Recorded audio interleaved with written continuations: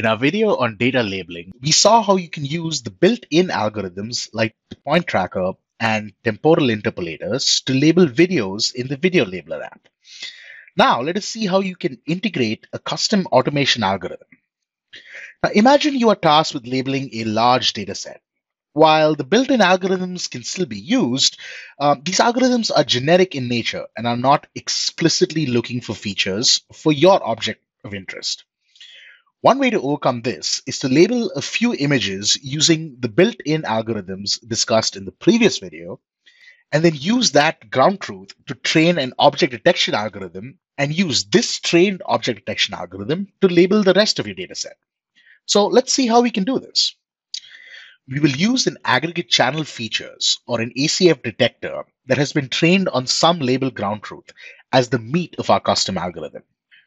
To learn more about how we train this algorithm, check out the training and validating object detectors video link in the description. So let's use this custom algorithm to label all the big green buoys in this video. So let's go ahead and create the label like we did earlier. In the algorithm section up here, let's choose the create new algorithm option. This will open a template for a class that inherits from the vision.labeler.automation algorithm class.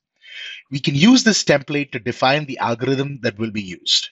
If we scroll through this template, we'll see that the class contains a few required properties that correspond to the name, user directions, and other such information for the algorithm, as well as properties that could be related to the algorithm's execution. These properties may or may not be tunable. Next come the methods for the class. The check label definitions method is used to check which labels are valid for the custom algorithms. You remember in the earlier video, we spoke about how only rectangle labels can be used for the built-in algorithms. This is where that gets checked. You can use the check setup method to check for any inputs that the user needs to provide in order to execute this algorithm successfully. Next is the settings dialog, which can be used to control the settings icon.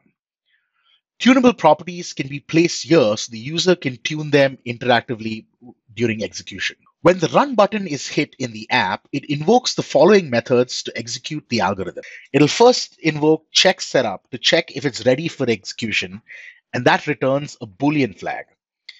If true, then the initialize, run, and terminate methods are called in that order to execute the algorithm. Now let's take a look at the custom algorithm for the big green buoy. As we scroll through it, we see that there are some properties defined for the score threshold, label name, and the detector. We see that the check label definition ensures that only rectangular labels can be used. The method check setup checks that a label is selected before automation begins. Settings dialog can be used to adjust the threshold value. In the initialize method, we see that the big green buoy ACF detector is loaded in through a mat file. And then if we scroll down to the run method, we see that the detect method of this detector is being called. And this will help annotate the image if the detection's confidence score is above the score threshold. Now, once we have created our class, the next step in order to use this custom algorithm is to create a plus vision slash plus labeler automation package folder inside any folder that is on the MATLAB path. The plus character indicates a package folder.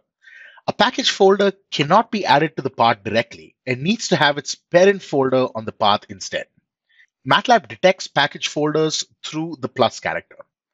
Now that we have our, our folder structure set up, let's go into the plus labeler folder and let's save this class in there. Now in the app, let's go back to the algorithms tab and let's click the refresh list button. And now we should see the green buoy ACF detector algorithm show up in the list of automation algorithms available. So let's go ahead and label some green buoys. Let's select the big green buoy label that we created earlier. Let's choose our big green buoy ACF detector automation algorithm and click automate. When we click the run button, we'll see that the algorithm is automatically annotating the big green buoys. One thing to note is the point tracker algorithm is effective for one or more rectangular ROIs only over a short period of time, after which the bounding boxes start veering off as we saw in the earlier video due to the inherent nature of the algorithm. While the temporal interpolator can only be used to annotate a single rectangular ROI, Using custom automation algorithms helps us, in this case, to not only annotate multiple ROIs, but also over longer time periods. In this way, we can use the custom automation algorithms to label images and videos in the Video Labeler and Ground Truth Labeler apps.